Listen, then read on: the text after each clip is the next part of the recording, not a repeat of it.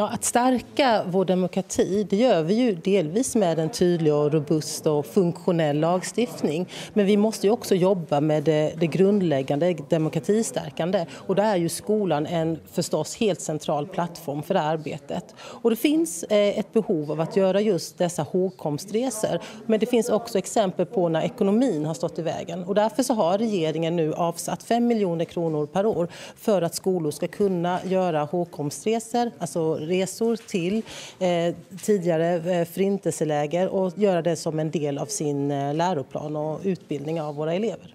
Ska man kunna åka någon annanstans? Vi vet ju till exempel att Rwanda haft folkmord, ett känt folkmord, eh, ungefär 20 år sedan tror jag. Eh, det finns andra regimer som också har stått för stor eh, massdöd och förintelse av folkgrupper. Ska man kunna åka någon annanstans också? Det finns säkert anledning till att utveckla det här arbetet men det som vi har avsatt pengar till nu det handlar om nazismens konsekvenser. Är du nöjd med eh, gensvaret som ni fick hos oppositionen? Ja, det var ju inte något skarpt läge där vi tvingade dem till att säga ja eller nej. Vi ville redovisa vad regeringen gör och det togs emot positivt. Men de kommer inte att ha något inflytande eller ni kommer inte att jämka med dem innan ni kommer med förslagen slutgiltigt?